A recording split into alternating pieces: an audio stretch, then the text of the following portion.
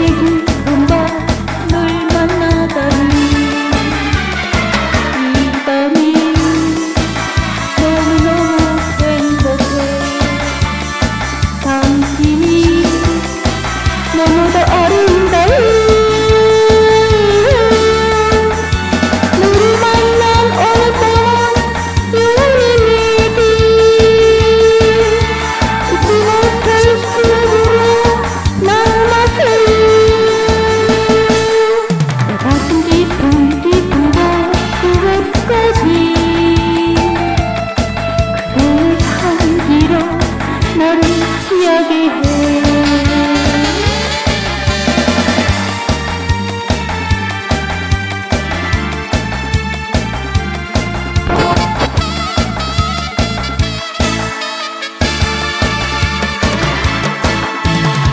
내 맘을 달래줄 사람을 만날 것 같아